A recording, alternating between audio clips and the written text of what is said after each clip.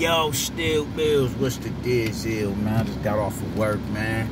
Ain't nothing worse than when you working and you gotta keep a hat on your head and your hair get all matted up and shit and it just look wild out here, man. I'll be I'll be looking like George Jefferson and shit like that, man, with my hair like shit crazy. But peep game, man, I wanted to rap with y'all about this um this uh Paulie Malignaggi situation, man. Like uh, I've always had a respect for Paulie Malignaggi from an analytical standpoint. Um, he was one of the cats that I looked to to hearing from. I like, you know, I thought his breakdown on the um, his his his fight, his breakdown of the fight, um, his, his analysis and breakdown as the fight progresses. I thought they were just spot on. They were extremely astute. And as I said before, you could listen to Paulie Malignaggi on a radio and through his analysis get a vivid picture of what the fighters in the ring are doing even though you can't see him I, his, analysis of that astute and that concise and spot on i've always been a fan of paulie malignaggi and his ability to call a fight and break down a fight but I, he fell out of favor with me with the, you know with that with the George Floyd uh, shit like that or whatever, man. So I just really haven't been following him. So I come across him just, you know, in the past day or so because of what he said about Devin Haney. And um, I couldn't disagree more. He hit on some good points. He hit on good points as it pertains to, you know, him um, him having a better understanding of the business. And what you know, what we all suspect, uh, uh, uh suspected, what, what actually went down when Devin Haney was looking to fight Lomachenko the first time when Loma, you know, forfeited the belt. Because a lot of people just run on that on that on that narrative. It's a very vague, it's a very vague and moot talking point because it sounds easier.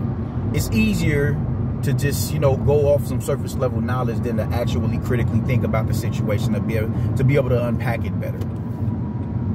And it honestly, you shouldn't have to deep, dig that deep beneath the surface, man, because you know they're two.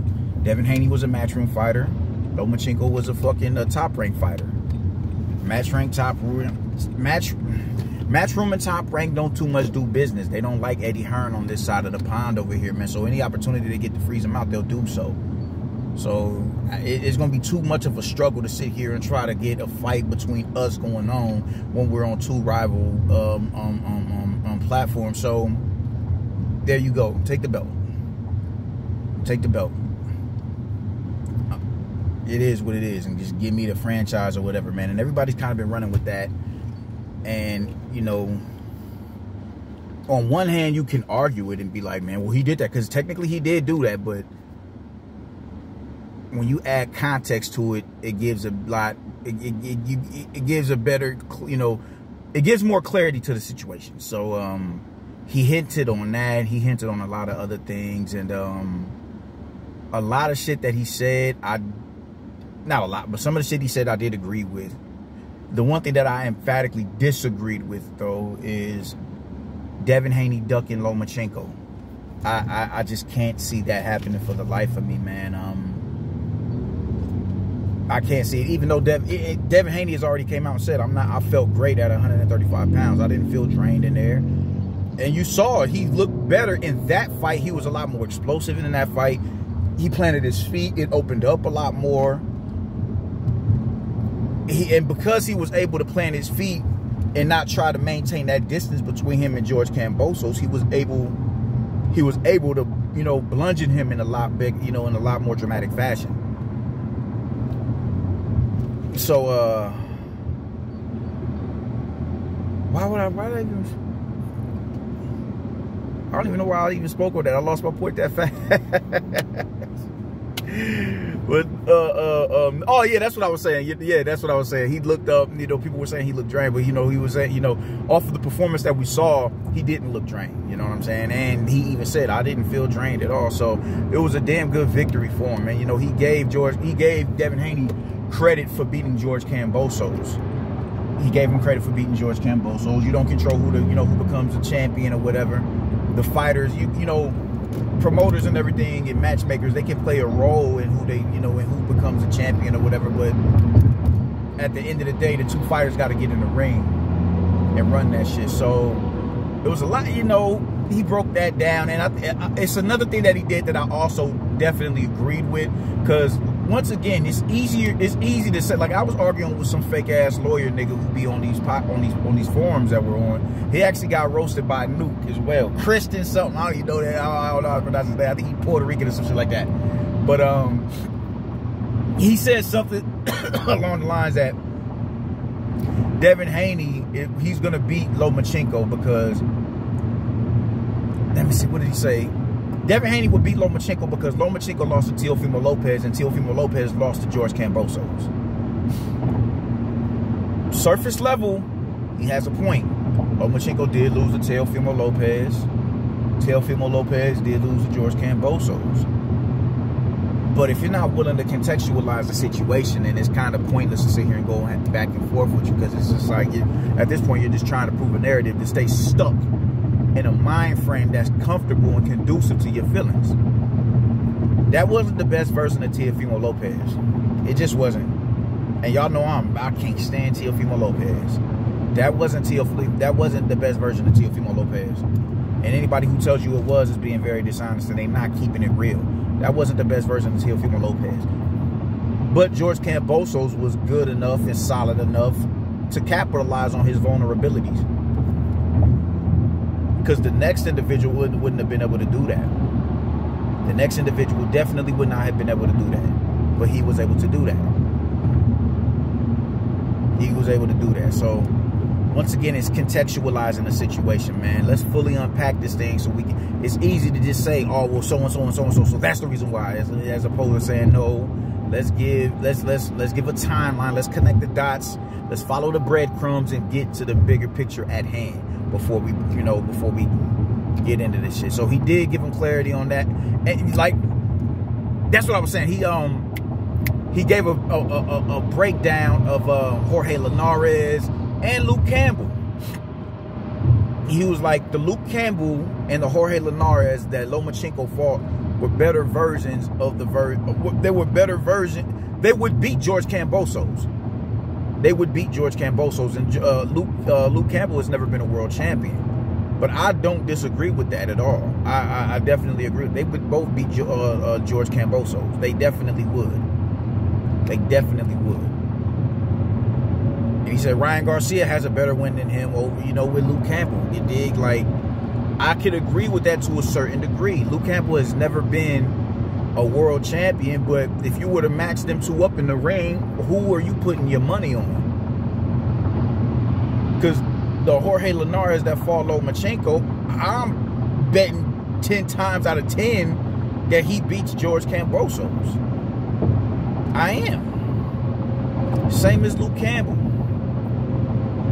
So I, I like how he was breaking it down from that standpoint. My biggest beef with it was him talking about he's gonna duck Lomachenko. He's been calling Lomachenko out for years, man. Um, I don't think there's a bigger fight for him at 140 pounds than than Lomachenko. And you're right there to make this shit happen. So why would I jump up and have to wait in line to get a Devin, not a Devin Haney fight, but a Teofimo fight when all Lomachenko has to do is beat Jamaine Ortiz in the next couple of weeks and there's our undisputed title. There's my there's my second uh, title defense, undisputed title defense with Lomachenko. And there you have it. Now he was also, I think he was trying to downplay his um his feelings towards what Devin Haney has said as far as I'll never let a white boy beat me. That's bullshit. All that shit is cat. Because what you said in counter in counter to that, it, it showed as you should. You should feel offended by that. I'm not saying that you was, you know, man, um, no, you should feel offended by that. You should feel offended that somebody is saying, I'll never let no white dude beat me. I, I, if, if Tom Brady was to say, I'll never let a black quarterback, you know, out quarterback me. You know what I'm saying? Like, I, I, I think every black quarterback should feel some type of way about that. Every black person who takes pride in their race should feel some type of way about that. I never played football a day in my life, but I feel you got me fucked up. Wait till Lamar Jackson get in his bag. Patrick Mahomes is already a, a, a champion. You dig what I'm saying? So we, you should feel some type of way about that shit. So I'm not saying that he's wrong if he did. People people try to ignore emotion. People try to ignore the fact I ain't in my feelings. I ain't mad. I ain't tripping. They try to ignore that shit to put them, you know, to show themselves in a different light. That what you what you saying ain't got no type of effect on me. I'm an emotional dude. After a while, you know, I'm pretty good at holding my composure, but after a while, I'm in my feelings. That's just the nature of man. That's the that's that's that's that's human nature. That's human nature. People say dumb shit, you get in your feelings. You supposed to. Who the fuck you think you, especially when it's something disrespectful, let alone stupid. So when Devin Haney came out talking that bullshit, oh man, I'll never let a white boy beat me, he should have been in his feelings about that. Especially as a former champion. Yes, you should be mad about that. And you have, you're well within your rights to be mad about that. I don't, I didn't trip off of that. You're supposed to feel some type of way about that. But he's downplaying it as if he didn't, like he wasn't like, yeah, he's young. That's what young people do. I don't give a fuck. I, I, don't give a fuck about how young you are. You say some dumb shit, I'm in my feelings about it, and it is what it is. But he's trying to downplay his level of emotion involved in Devin Haney saying that shit. He's definitely feeling some type of way about that shit still to this day. The, oh man, the European ain't no more black chain. You know, when you jump out your, you know, you jump out the window and say some shit, man, like yo, but the black, the day of the black, you know, the day of the great black boxers is over, or some whatever shit you said. You, you that, that was a lie. That was an emotional response. So he's definitely still in his feelings about what Devin Haney said as it pertains to white boys being able to beat him. That was cat. You were mad, as you should have been. But as far as him saying that he's gonna duck Lomachenko, I definitely disagree with that. I, I definitely disagree with that. I do think the um, the clips that he put up they were trying to be unbiased as they can possibly be. I do think he was trying to, uh, you know, bring some some um uh some sort of fairness into the equation to not let his emotion get in the way and you know, oh man, yo, so it doesn't come off as if he's hating. Because honestly, as it pertains to Lomachenko and Devin Haney, he didn't say too much that I disagreed with as far as a matchup between the two of them. But I definitely don't think Devin Haney is about to duck no Lomachenko. Because it would be pointless for him to jump up to now you gotta who do they have on match well nah he's um he's he's he's still with uh he's still with top rank. Ooh, they got all the hitters at 140 though. Ooh, they got all the hitters at 140. They do, they do. But they're not big money fights, unless it's with Teofimo Lopez. They're not big money fights. And I personally don't think Devin should be in a hurry to move up in the now. I don't think Devin Haney should be able to move up, should be in a hurry to go ahead and jump up to the next division now. I don't think he should do that. I definitely don't think he should do that. I think he should polish this, get in the ring with a bona fide killer at 135 before you move up. That would include Nakatani. That would include Commey. We ain't even got to talk about, let alone Lomachenko. Get in with some wolves at 135 pounds before you move up and really sharpen your tools, really tighten your defense. Because George Kambosos was able to cut you. I didn't hear nothing about a clash of heads and him. Oh, man, rest in peace, that cat. But I didn't hear about a clash of heads and him getting that, you know, causing that slice above your eye. I think that was from a punch. I could be wrong, but I didn't hear. I, I didn't hear about it. I don't think it was a. I don't think it was a clash of heads why you got cut like that. So I definitely think you should stay at 135 pounds. Get you a few title defense. You know, of course, defend your title with Lomachenko. But even if you lose a Lomachenko, stay at 135 pounds at least for two or three more fights, man, and really get your, you know, polish your shit that much more. So when you jump up to 135, all right, yeah, I'm not 35 but 40 I'm void of power, but I'm, you know, I'm a lot more defensively responsible. You know, I'm um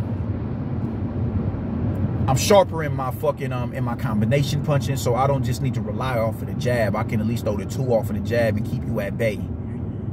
I will work on shit like that because Devin Haney is an incredible boxer. He's always he's already as polished as can be. When I say polished, I just mean putting yourself in a position where you're taking more risk and not being punished for the risk.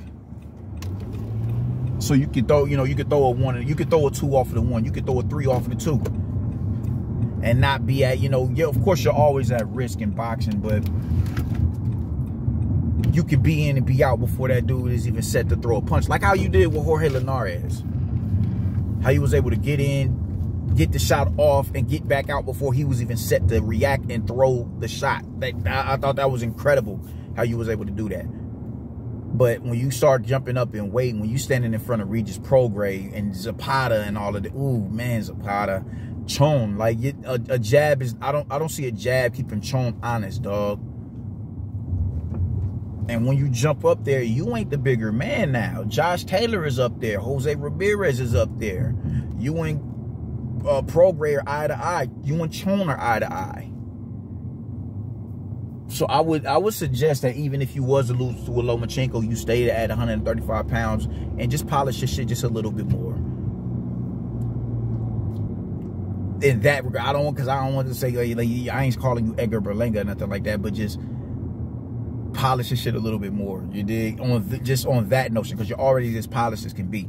But just you know, when I say polish, just take being a you know being able to take risk without being at risk. You know, that's what I mean. That's what I mean. Y'all got my drift. I explained it enough. But I definitely don't think Devin Haney is about to duck Lomachenko. I don't see it happening. He's too close to a money fight, and him and Lomachenko is definitely a money fight. So I'm not about to jump up there and fight and go and chase a Teofimo Lopez. I, I'm, I'm just, I'm not about to do that shit. When I got my money fight right here. I got my money fight right here. And it's the dude that I've been wanting to fight. It's the dude that I've been calling out. It's the dude that I said I'll never let a white boy beat me. He's right there. If he gets past, if he gets past Ortiz in the next week or so, that's a fight that's ready to be made come early next year. So I don't, I, I, I, don't, I don't see him jumping up. That would make no sense for him to do that, man. So that's how I'm feeling about it, man. I'm about to go in here and change and go get my son, man. I will uh, get with y'all later. Deuces.